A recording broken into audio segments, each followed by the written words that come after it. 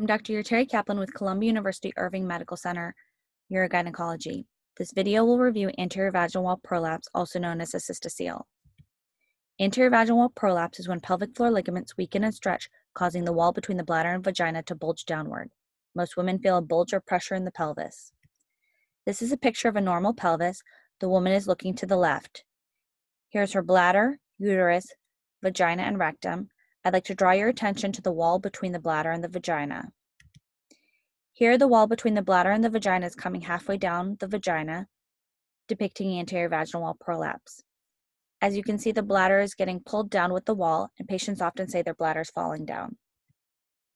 In this picture, the anterior vaginal wall is coming beyond the opening of the vagina, showing severe prolapse. You may feel or see a bulge, and it may be difficult to empty the urine.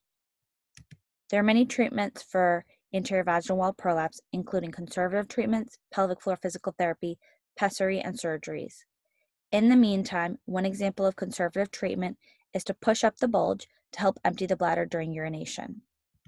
If you have any questions regarding your condition or would like to make an appointment, please feel free to call.